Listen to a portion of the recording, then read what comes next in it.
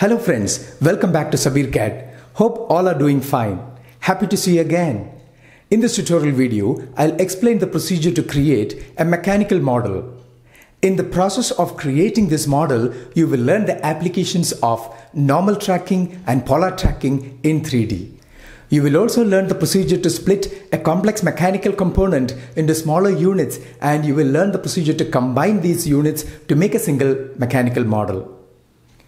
Before we move on, please don't forget to subscribe to my channel Sabeer CAD if you haven't subscribed already and hit the bell icon to get instant updates on my all future video uploads. So all these things and more is coming up, so stay tuned.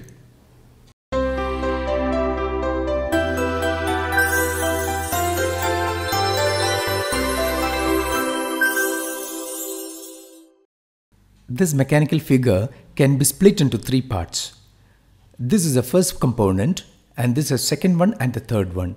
We can create each component by creating the corresponding profiles, then we can extrude it. Let's create the first component by creating this profile which you see in the red color. All the dimensions required to create this profile is given in the figure.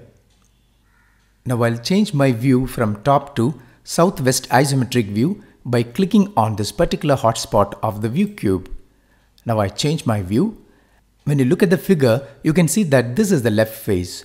So I should align the UCS with the left face to create this profile.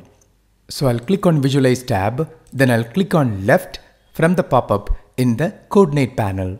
Now I'll create a polyline profile, then I'll start from here. Here this distance is 70 and this is 55 so I'll start from a point here, then I'll turn my ortho mode on, then I'll type 70.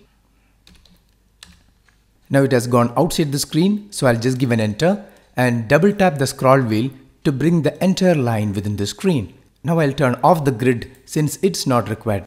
Now I'll continue my polyline from this endpoint through distance of 55 straight up this distance. Then I'll plot this distance which is 25 and you can see that the next line is inclined with the horizontal through distance of 45 degrees. So you can activate the polar tracking and make sure that 45, 90, 135 angular combination is active.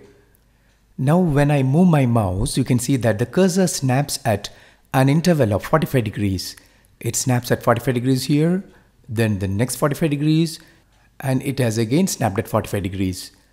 Now I need to actually locate this particular point which is actually an intersection of this inclined line and a vertical line which starts from this endpoint. In order to get that intersection point and when I reach 45 degree snapping point I'll stop there then I'll track this particular endpoint then when you move the mouse you can see that you will get that point of intersection here. You can just click that point and you can come back to this point. Hence, you have got this point of intersection.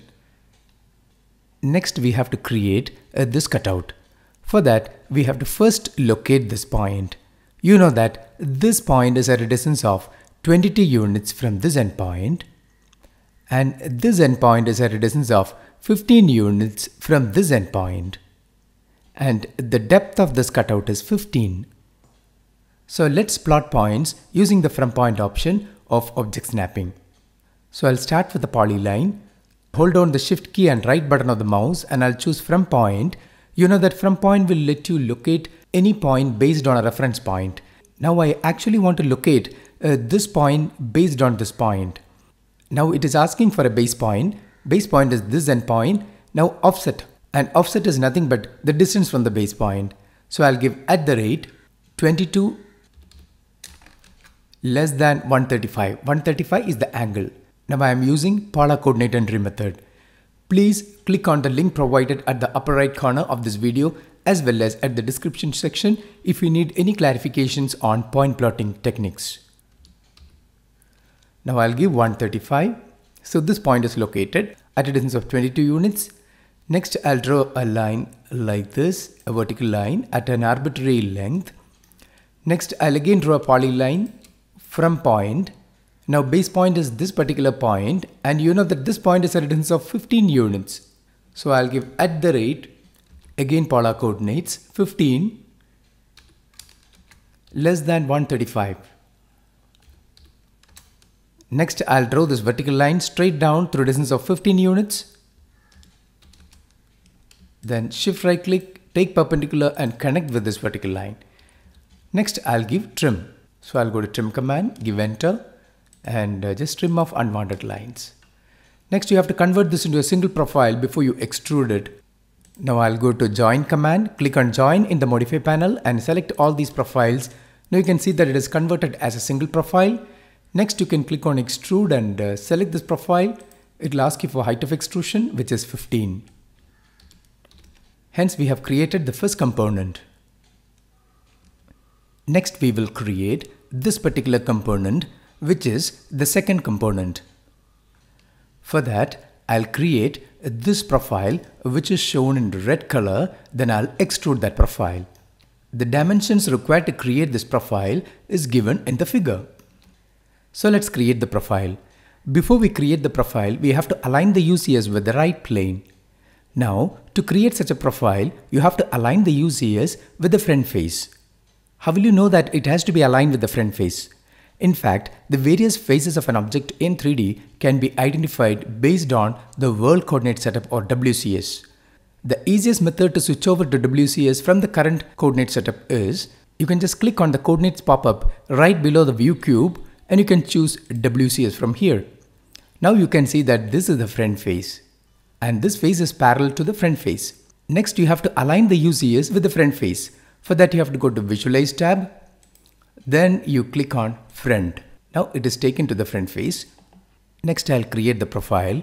I'll start from a point here then move down and this distance is 50 minus 15 that is 35 units. So polyline from here straight down towards left 35 units. Then straight up I'll pick an arbitrary point here. Then I'll continue with the polyline from here and make sure that your 30, 60, 90 polar tracking is active. Now move the mouse. When the cursor snaps at 30 degrees, you can track this point and you will get a point of intersection here. Then you can come back to this point. Next, you have to connect these segments to a single profile. So click on modify, join and join all these profiles. Now it's a single profile. Next, you have to give a height of extrusion of 15. So go to extrude and select this profile and give a height of extrusion of 15. Next, let's create the third component. For that, we will stick to the same procedure. We will create the profile and extrude. We will create the profile shown in red color. All the dimensions required to create this profile is given in the figure. Before we create the profile, we have to align the UCS. Now the profile is to be created on the left face. So go to Visualize tab and align the UCS with the left face. Next I'll create the profile. I'll start from here. Now you know that this point is located at a distance of 20 units from here because this is 70 and this is 50. And in order to locate this point, I'm not going to make use of the from point option but instead I'm going to make use of another simple option in AutoCAD that is called extension snapping. But before you use that option, make sure that extension is on in object snapping. Now you can draw a polyline, then you just keep the cursor over here to track this point.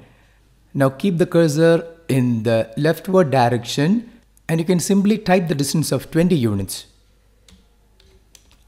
Now this point is at a distance of 20 units from this endpoint. Next you can come to this endpoint and this height is given as 23. So turn the ortho mode on. If it is not on, then type 23 and right click and close. So this profile is created.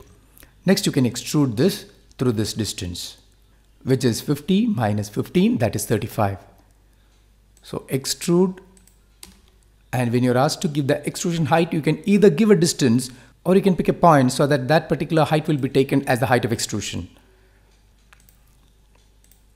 Next, you have to combine all these objects into a single unit using the union command. So I'll click on union and I'll select all these components. Hence, we have completed this figure. Hi, hope you have enjoyed this video. Please don't forget to hit the like button of this video if you liked it. Until I catch you in the next video with another interesting topic, bye bye and take care. May God bless you all.